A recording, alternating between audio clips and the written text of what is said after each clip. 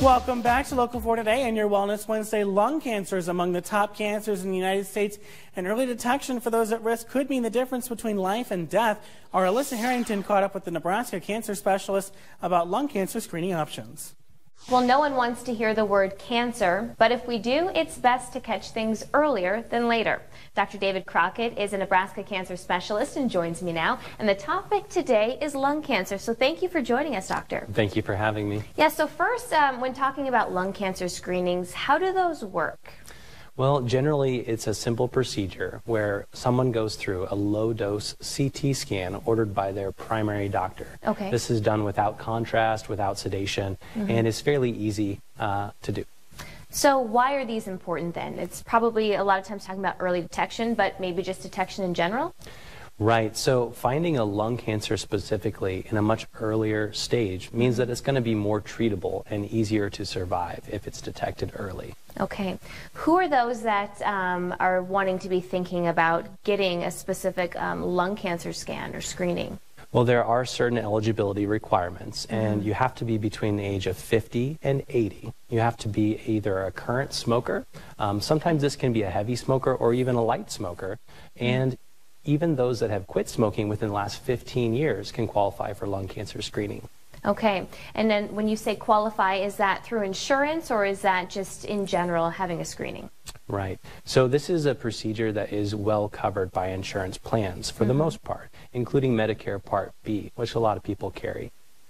Okay. Um, and then when it comes to these screenings, you mentioned 50 and older. What about those that might have um, a family history of lung cancer or that maybe um, did smoke for, you know, maybe 20 years even and then quit or those that lived in secondhand smoke growing up, things like that? What about people in that demographic? As of right now, people with a family history of lung cancer or exposure to secondhand smoke generally don't qualify. But if you've quit smoking within the last 15 years and are a non-smoker, you still could get a low-dose CT scan done every year. Mm-hmm.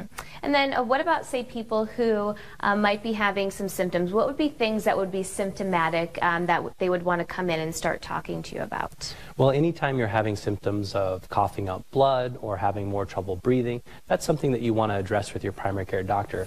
The goal of this, though, is to find people without symptoms, mm-hmm. thinking that they're doing fine, um, and you would never know an early stage lung cancer could be lurking.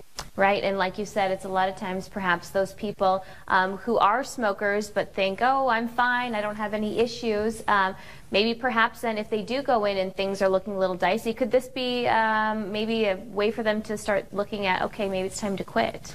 I think it does provide a teachable moment, um, mm. and studies have shown that people that do take that positive step towards their health and get this low dose CT scan um, are more likely to quit smoking. And, you know, it's always good to do that. Better late than never. Right. And then if people um, who do qualify, they'd like to get more information, um, can they call in, a website? Can they get registered there? How do they go about getting signed up? Generally, it's as simple as bringing it up with your primary care doctor, you know, mm-hmm. making sure that you qualify.